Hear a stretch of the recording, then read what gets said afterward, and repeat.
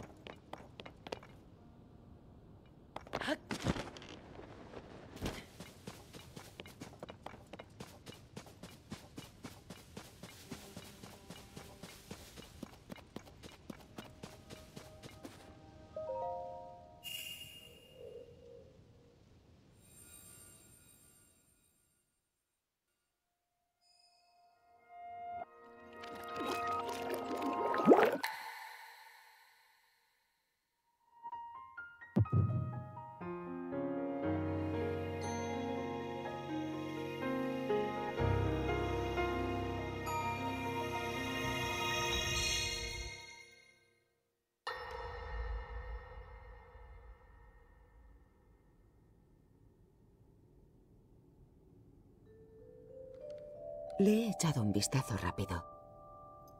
Sin duda, esta tecnología proviene de otra época. Aunque quizás sea capaz de reparar la función de transporte. Quisiera hacer algún experimento. ¿Me la prestarías? Claro, toda tuya. Si puede resultarte útil. Que así sea entonces.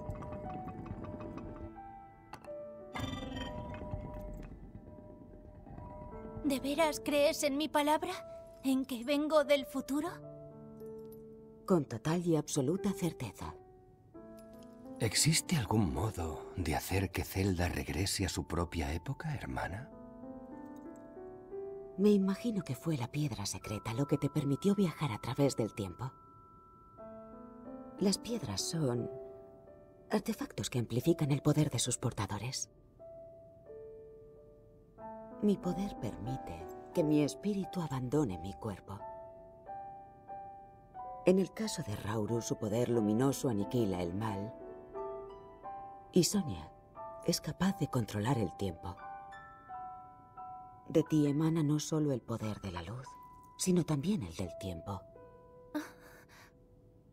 Pero tu piedra solo amplifica este último. Qué curioso. En todo caso, la piedra solo potencia lo que ya existe. Es decir, eres tú quien debe saber controlar tu poder. Por tanto, si desconoces cómo usarlo para regresar a tu época.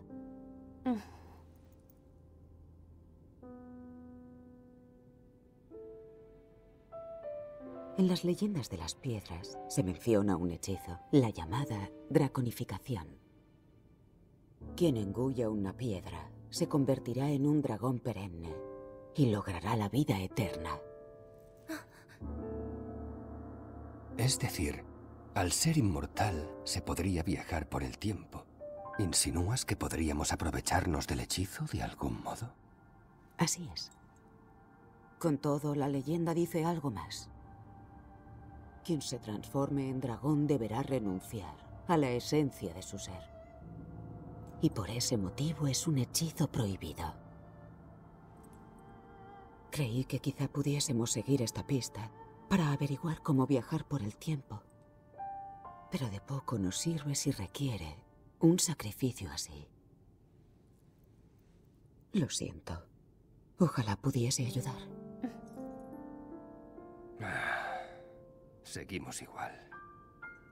Oh, ¿Sabes qué? Quizá puedas tratar de entender mejor tu poder. A lo mejor así descubres una nueva pista. ¿Y si dejas que Sonia te enseñe a utilizarlo? Vale.